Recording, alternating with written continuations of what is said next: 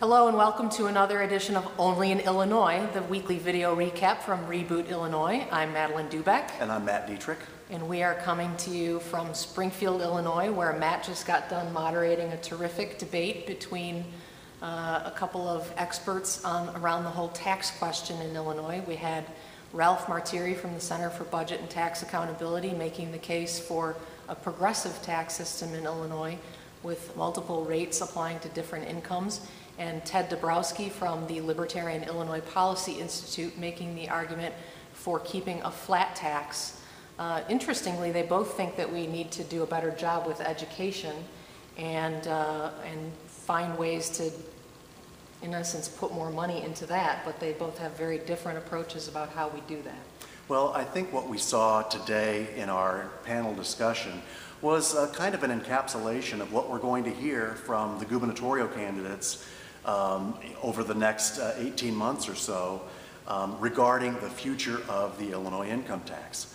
People who uh, favor a progressive income tax system, um, who want to change the Illinois Constitution to allow that, believe that it's a more fair way of applying an income tax because it taxes people according to their ability to pay.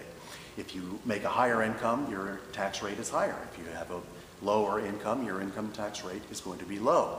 They also believe that it is a way to bring in a lot more money for, for Illinois. And right now, uh, Illinois, we're struggling. We have $7 billion in back bills. Um, we have struggled and struggled even with a 5% flat rate increase that uh, went into effect in 2011.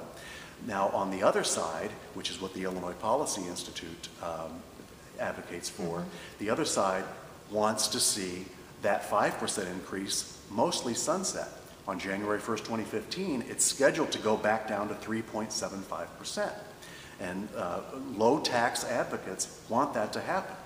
The problem is, if that happens, Illinois loses about in the neighborhood of $7 billion. And that's a How pretty, do you make that up? that's a pretty hefty chunk. Fund services, and so that's going to be a big uh, discussion in the months ahead, and so we kind of got the discussion going in a big way at this event, and we'll have uh, lots more coverage of it on rebootillinois.com and some video clips as well, but we're also here in Springfield while the state fair is underway, and uh, the political candidates have been really joining the campaign in earnest and starting to make their arguments. We had Governor Pat Quinn and Bill Daley uh, talking to the Democratic County Chairman's Association yesterday. We have Republican go- governor candidates at the state fair today, uh, starting out trying to solidify their support within their own parties. And, uh, and any other highlights that you saw yesterday at the Democratic meeting?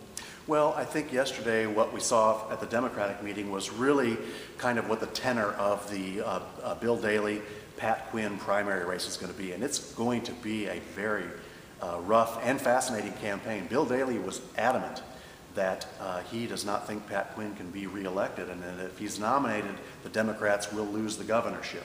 However, Pat Quinn got a hero's welcome at the uh, Democratic leadership meeting and a standing ovation as he went off. So they were pretty well solidified behind him. And I think what we're going to hear today at the Illinois State Fairgrounds from the four Republican gubernatorial uh, uh, uh, candidates, uh, will be a lot of talk about what they see in the state's tax future.